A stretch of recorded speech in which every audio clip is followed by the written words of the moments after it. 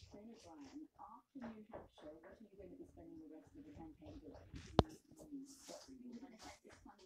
I don't think so. I think no. I'm, hoping it's going to be snowing and I might actually get up my beloved mountain. Okay. We're only Thank you very much. It's great to have you here. We're introduced cold, but moving into the top three there, as we were just discussing, the Bloomberg and Felix campaign. Uh, so let's uh, talk a bit further about those polls. So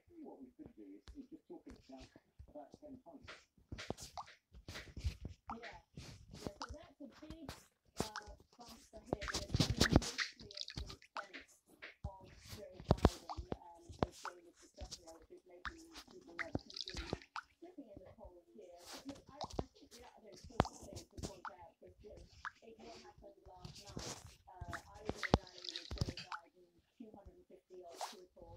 Down the road from the rally that I was at was none other than President Trump with that massive, something like even in New England that had 12,000 people turning out. And I think the kind of chutzpah of Donald Trump turning up when Democrats are meant to be having their own here today uh, tells you something about his president at the moment. Yeah, I mean, these are